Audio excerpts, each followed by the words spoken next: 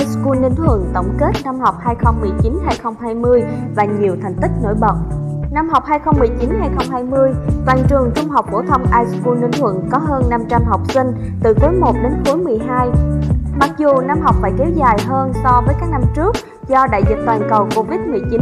ngày 15 tháng 7 năm 2020, trường Trung học phổ thông iSchool Ninh Thuận đã tổ chức buổi lễ tổng kết năm học với nhiều ISER được vinh danh, đạt nhiều thành tích trong các kỳ thi cấp tỉnh, cấp quốc gia trong nhiều lĩnh vực thể dục, thể thao, kiến thức, chuyên môn, đến các cuộc thi khoa học sáng tạo, học sinh, sinh viên. Học sinh iSchool Ninh Thuận trên đấu trường cấp tỉnh, thành phố ở kỳ thi học sinh giỏi cấp tỉnh năm 2020, trường iSchool Ninh Thuận có 6 ISO với 6 giải ba cấp tỉnh ở môn tiếng Anh, vật lý và ngữ văn. Tại cuộc thi khoa học kỹ thuật cấp tỉnh năm 2020, trường iSchool Ninh Thuận có hai đề tài nghiên cứu khoa học dự thi, trong đó có đề tài chuồng chăn nuôi gia súc của tác giả Phạm Nguyễn Gia Bảo, lớp 10A1 đã đạt giải khuyến khích. Đặc biệt đến với cuộc thi sáng tạo thanh thiếu niên di đồng tỉnh Ninh Thuận lần thứ 14, ISER Phạm Nguyễn Gia Bảo đã xuất sắc đạt giải nhất và được chọn là đại diện tỉnh Ninh Thuận tham gia kỳ thi cấp quốc gia với tác phẩm Mô hình chuồng chăn nuôi heo tự động. Đến với cuộc thi trí tuệ Athena khối trung học cơ sở năm 2020 cấp thành phố, ISER Phạm Văn Khang lớp 9A đã đạt được thành tích giải nhì của cuộc thi trong số hơn 15 trường tham gia trên địa bàn thành phố. Tham gia cuộc thi tuổi trẻ học đường với an toàn giao thông, tập thể trường iSchool Ninh Thuận đã đạt giải khuyến khích cấp tỉnh và giải ba cấp thành phố. Với giải bơi cấp tỉnh năm 2019, học sinh iSchool Ninh Thuận đã đạt được 2 huy chương vàng, 3 huy chương bạc, 1 huy chương đồng và 4 giải khuyến khích. Và tại giải bơi cấp thành phố năm 2020, học sinh iSchool Ninh Thuận tiếp tục giành được một huy chương vàng, hai huy chương bạc, hai huy chương đồng và giải nhì toàn đoàn.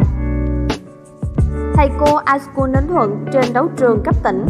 Tại kỳ thi giáo viên dạy giỏi cấp tỉnh lần thứ ba năm 2020, trường ASKUL Ninh Thuận tự hào khi có thầy Trần Xuân Thanh, giáo viên môn vật lý được xứng tên với danh hiệu giáo viên dạy giỏi cấp tỉnh. Tại hội thi tinh học khối cán bộ công chức trẻ toàn quốc lần thứ ba năm 2019, cô Phan Thị Thu Thùy, giáo viên môn tinh học, đã mang về cho trường giải nhất cấp tỉnh, thầy Trần Thế Vinh với giải khuyến khích cấp tỉnh. Cô Thu Thùy sau đó đại diện tỉnh tham gia hội thi tinh học toàn quốc với kết quả chung cuộc. Cô Thùy đã xuất sắc vượt qua nhiều thí sinh đến từ các tỉnh thành trên cả nước đã mang về thành tích giải khuyến khích toàn quốc.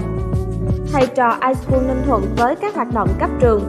Kết quả năm học 2019-2020, trong toàn trường có 71,6% học sinh đạt danh hiệu, hoàn thành xuất sắc các nội dung học tập và rèn luyện. 28,4% học sinh đạt danh hiệu, tiến bộ vượt bậc về ít nhất một môn học. Đối với cấp trung học có 30,2% học sinh giỏi và 38,6% học sinh tiên tiến. Trong đó, nhà trường đã tìm ra được 6 học sinh có thành tích đạt điểm cao nhất nhì khối trung học Đối với môn tiếng Anh, khối tiểu học có 57,8% đạt giỏi, 30,9% đạt khá, khối trung học có 20% đạt giỏi, 39,4% đạt khá. Hàng năm, nhà trường thường tổ chức hội thi giáo viên dạy giỏi và đã có 4 giáo viên đạt danh hiệu giáo viên dạy giỏi cấp trường đợt 1. Danh hiệu thi đua tập thể lớp có hai lớp xuất sắc nhất là tập thể lớp 4A khối tiểu học, tập thể lớp 6A của khối trung học. Có hai lớp xuất sắc nhì là tập thể lớp 3A của khối tiểu học, tập thể lớp 11A3 của khối trung học và tập thể lớp 11A1 đạt danh hiệu xuất sắc hạng 3. Cam kết nâng cao chất lượng từ trường hội nhập quốc tế iSchool Ninh Thuận với đội ngũ cán bộ quản lý năng động, nhiều kinh nghiệm, nhiệt huyết, đội ngũ giáo viên đạt chuẩn và trên chuẩn về trình độ, thường xuyên tự bồi dưỡng, được tập huấn cập nhật về đổi mới phương pháp dạy học ITL, luôn lấy học sinh làm trung tâm. Trong đó có các giáo viên người nước ngoài tham gia dạy học tiếng Anh giao tiếp. Thầy cô giáo trường hội nhập quốc tế iSchool Ninh Thuận luôn đi theo 6 giá trị cốt lõi: chính trực, tự học, sáng tạo, hợp tác, trách nhiệm, tôn trọng và hướng đến mục tiêu